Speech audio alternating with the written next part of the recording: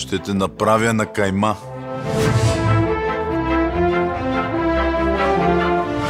Ще ти откъсна тиквата. Но нещо май си се панирал. Ти по-добре си пребоя ребрата.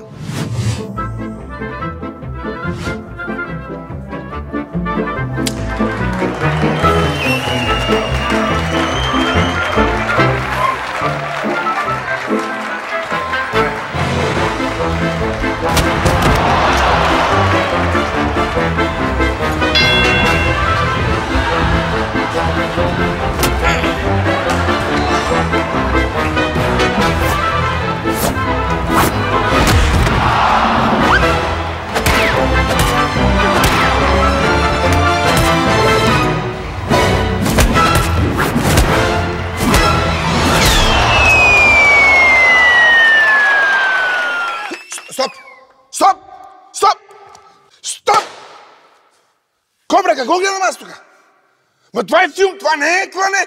Сега, почивка, хапваме и след това продължаваме, нали? Значи, ще стане страшен филм. Само, Кобра, моля те, другия път актьорите не ги бий в лицето. Не ги бий там. Повече в тялото. Да. И ти много добре се справи. Да.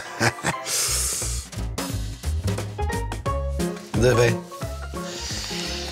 Ще имам нужда малко от грижи и възстановяване. Его, пак ти му обръщам внимание. Нали си режисьор или си леншев? Ще измисляме.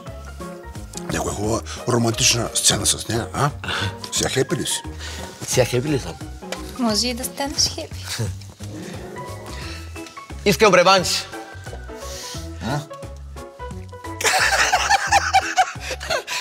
Дадено. Още днеска. И живот си здраве по-нататък.